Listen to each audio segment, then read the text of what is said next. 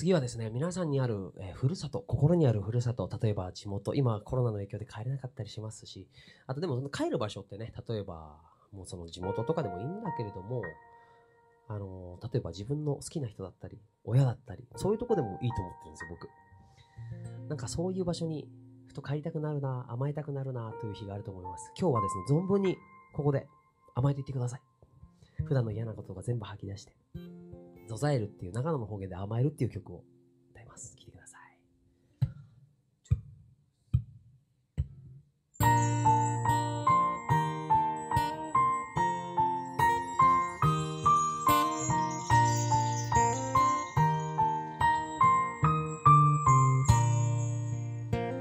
バスを降りてあくびした僕に話しかけてくる。ここが僕のふるさと。なんだってこと。都会の重たい空気が溶けた。水の味はまるで人生はそんな甘くないと当たり前はないってこと。ただ今の後には行ってきますが待っているんだよ。到着して。間もないのに冷たい風吹き抜けるんだ。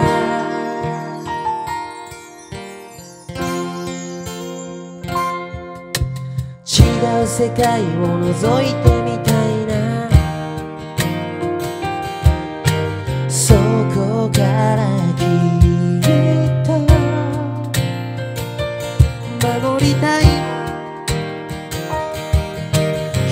一つの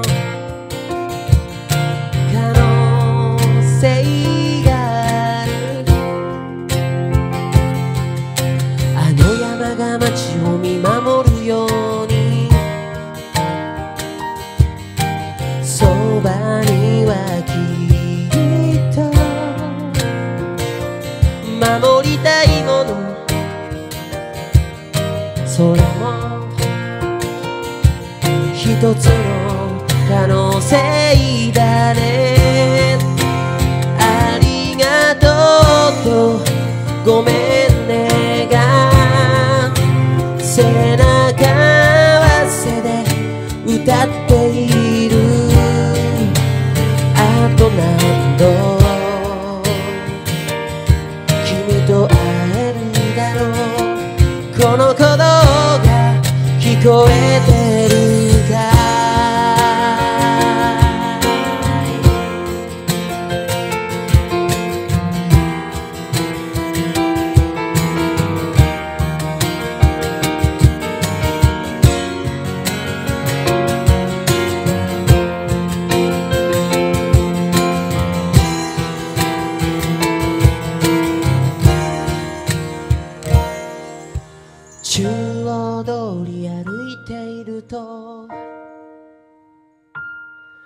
なくなってたんだ。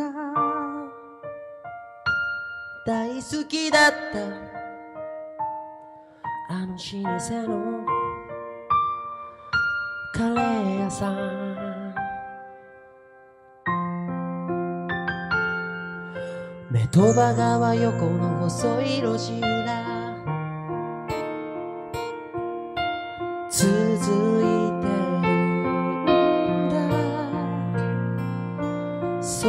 足の匂い。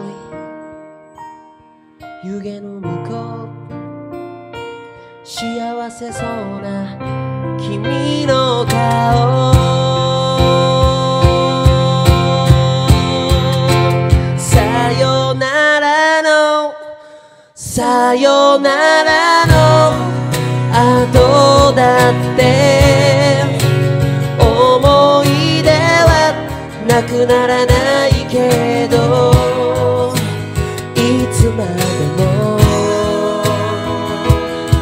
そこにいたらあり続けてほしいだけなんだ。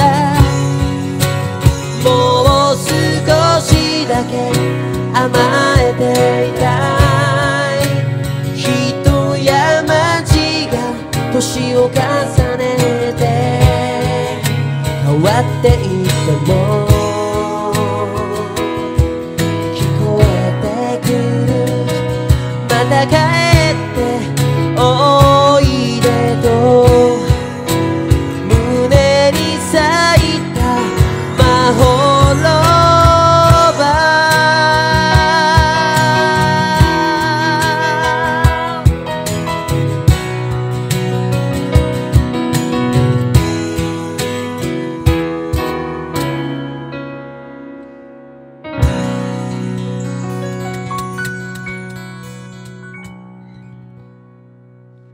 ありがとう。